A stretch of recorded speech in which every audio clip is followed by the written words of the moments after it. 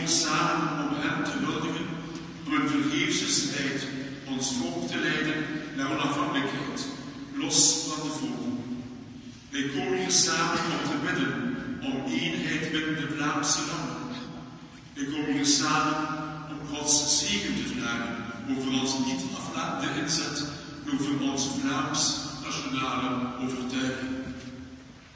Zie het enkele weken is priester, Slieter Schaven het mikpunt van een nog altijd durende tricolore haat. Hij wordt voor een tweede keer ter dood veroordeeld. Typisch Belgische rancune omwille van straten die in enkele gemeenten zijn naam dragen.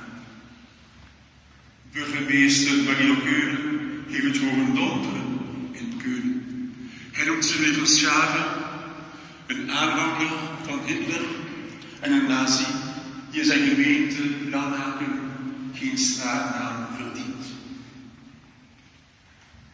Als een zelfbedoelde goede patriot zoiets zegt, denk ik telkens weer aan een citaat van Barney Schijzen, behaalding van de repressiemoord op August Bouws.